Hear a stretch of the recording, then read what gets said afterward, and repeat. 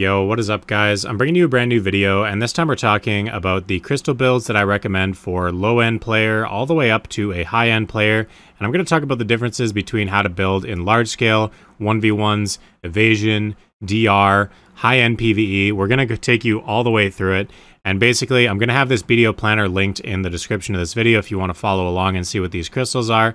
But essentially this is going to be our low-end PvE build. This is going to be our high-end PvE build. We then have 1v1 for DR and large scale for DR, followed by 1v1 for evasion and large scale for evasion. So let's start off with what I choose, and I'll give you a little bit of justification as to why I choose the following crystals.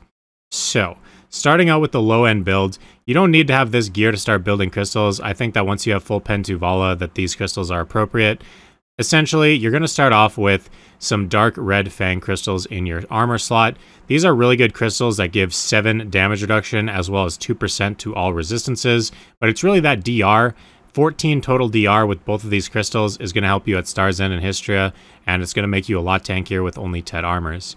Moving on to gloves, we got the Dark Red Fang Valors. Those are going to give you some extra critical hit as well as some AP, and that's going to help a lot in terms of your damage, and these are only about 30 mil each, and so are the ones in the chest piece. These crystals are only about a mil each, and they give critical hit damage 10%, which is really, really nice for PvE. It's going to help a lot with your damage. As well as these are only about 7 mil for the both of these, and uh, they give you hidden AP plus 5 for each crystal. In your boots, I recommend to have some Adamantines Nature. These give knockdown bound 25% and only cost about 3.5 mil each, so 7 mil for the two of them. And they're going to help you survive if you get knocked down at some of these spots, because typically it's the CCs that are going to kill you, especially if you're grinding in a place like maybe Sycraia. Uh, moving right on to Griffon's Helmet.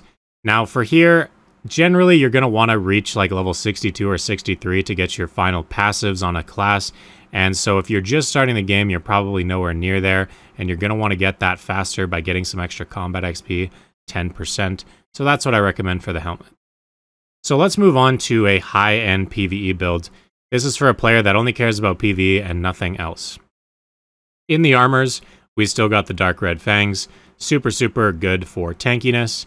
We still have the Dark Red Fang Valors. These are super good for the offensive. We've now upgraded to Corrupted Crystals, which are about 110 mil each, or potentially more depending on what server you're on, but they're going to give an extra 2% crit damage as well as some hidden AP. For your main hand, we've upgraded to Karmes. They still have the hidden AP, but now include critical hit and some attack speed bonuses. And for the Urugon shoes, we have gone with Macalods, and in the helmet, we have gone with Macalods. The Macalods are great for PvE because they give stamina, they also give some extra combat XP, and just generally are well statted for a lot of classes. If you do want more tankiness and you don't necessarily need that stamina or combat XP, you can swap these out for 4-piece Hume, which will give you a lot of nice stats to help you with your tankiness. So that is a consideration as well. Now let's move on to the high-end damage reduction PvP build. In this particular build, we've got Jin Vipers for the accuracy, we've got the Corrupteds for the damage, we've got Elcars because they have ignore resistance on them, which is really, really effective for trying to get your CCs to actually land on your opponents. In the boots, we have gone with some RBF Adamantines. Having knockdown bound resist is amazing because it can help you stand up from a combo if the class you're fighting manages to not go th through with their CC. And in the helmet, we've got some hand hooms, which pair nicely with our Dandy that also has some Hooms. If you don't yet have a Garmoth Fear Dandy, you can also sacrifice the KD resist and go and put the two Hooms here, but generally by the time your gear looks like this, you probably should be working on a Garmoth. Now, working towards the uh, large scale build, the only real difference here is that in large scale, I recommend damage reduction. You're not really going to be doing damage trading like you are in 1v1s, and so I don't think that the Hooms are appropriate, which is why I go for Harphias. Those give extra damage to humans. In your boots, you also have extra damage to humans, and then in your dandy, you have Lucases, which give you damage to, hum damage to humans. Main hand, you keep the Elcars, you keep the Corrupteds, you keep the Vipers. And then in the chest piece, we have Magic Crystal of Affinity, Special Evasion, which is pretty much a staple for all PvP builds. Uh, you're definitely going to want to have it in the build above as well. It is pretty much a non-negotiable crystal, which you also keep for both of your evasion PvP builds.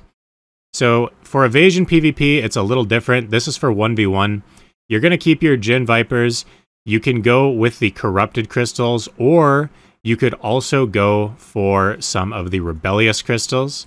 And that is going to help your tankiness because it gives an extra uh, 300 plus HP, 350 HP. So that is something to consider in 1v1s. If you are able to actually survive a combo, these can help out with that. Uh, but in the Dandy, we've got the Hooms, of course. In the boots, we've also got the Hooms. And in the helmet, we've got the Harphias to get 40 extra evasion. And so essentially, the idea for the 1v1 build is to get yourself as tanky as physically possible and you know, trying to make yourself able to survive that combo and sacrificing the AP in order to try to do that. Now, moving right along to the large scale build, it's really tough to survive in large scale with any gear. And so that is why you go as pretty much as full damage as you can. That's going to include human damage in your main hand.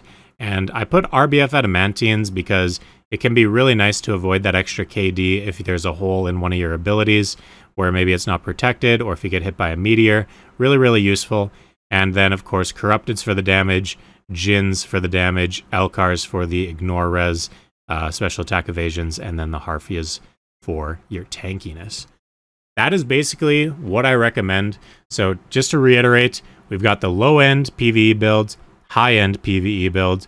We've got the high-end 1v1 PvP for DR, the high-end large scale for DR, 1v1 evasion, large scale evasion. I'm going to link this in the description so you guys can see the different crystals. Um, but essentially, in terms of price, this is about 150 mil. This is under a billion silver to get all of this. I'd say it's maybe around 700 mil. This is going to run you over a billion no matter what crystals you're running here. And a lot of that has to do with just the Jin Vipers and the Jin Harphias and things like that.